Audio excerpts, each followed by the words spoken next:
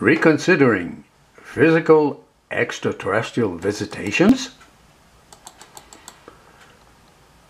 Even though this article was written in 2010 by Mark S. Callis, in my opinion, it is just as relevant today as it was in 2010. And even though it is not specifically indicated in the article, the author here undoubtedly is referring to physical extraterrestrial visitations. I'll make a short comment at the end. Quote, the modern UFO phenomenon began in the 1940s, yet despite decades of evidence and the fact that opinion polls such as Gallup have consistently shown that the majority of people believe that flying saucers are real, this phenomenon has yet to be seriously and systematically investigated by the academic and scientific mainstream. Why? In large part, it has to do with the hypothesis that unexplained UFO sightings represent encounters with artificial, intelligently controlled craft of non-terrestrial origin.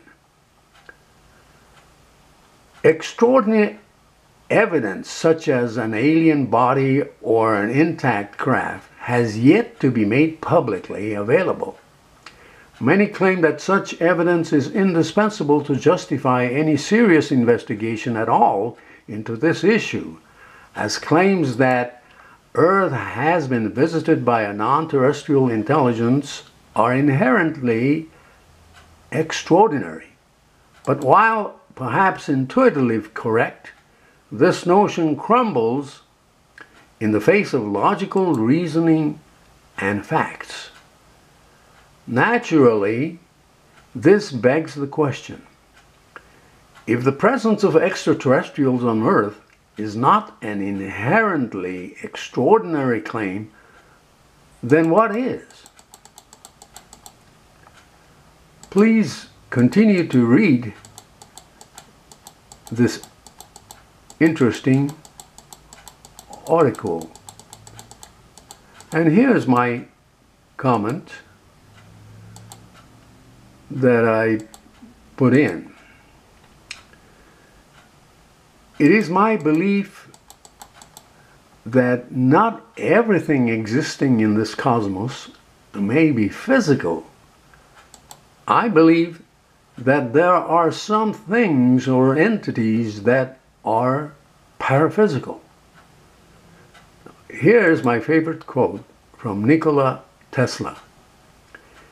He said, The day science begins to study non physical phenomena, it will make more progress in one decade than in all the previous centuries of its existence. This is Norio Hayakawa, Rio Rancho, New Mexico, USA.